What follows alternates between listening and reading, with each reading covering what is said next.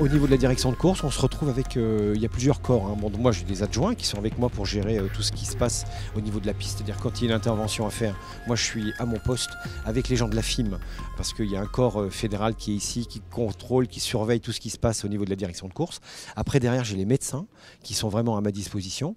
Enfin, Dominique, qui est le, chef des médecins, attend toujours mon feu vert pour faire sortir le VRI et tout, pour qu'il puisse sortir avec maximum, un maximum de sécurité.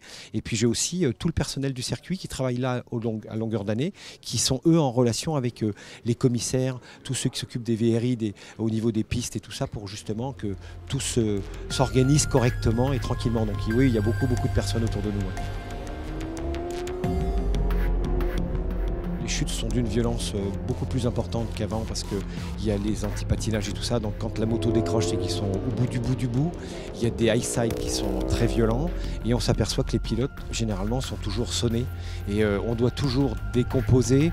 On ne peut pas non plus mettre toujours le rouge parce que c'est une fraction de seconde. hein. On voit le pilote qui bouge, qui se relève et qui va, qui va voilà, sortir euh, de l'endroit qui est un petit peu difficile. Mais il y a un moment où on voit que le pilote il bouge plus et là c'est il faut être très très rapide. Là, j'attaque ma deuxième année en tant que directeur de course affranchi, on va dire.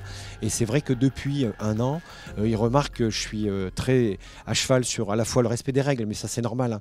Mais quelque part, il y a un sentiment de reconnaissance qui est entre eux et moi, et moi et eux, parce que aujourd'hui, euh, ça reste des pilotes fantastiques, ils vont vite, ils vont très très vite. Et c'est pour ça que ça m'oblige, moi, d'être très concentré et de, de ne prendre aucun risque pour leur sécurité. Donc effectivement, ils sont rassurés parce que sur les conditions de piste, sur les conditions de course, ils savent qu'ils peuvent me faire confiance et moi, je ne lâcherai rien.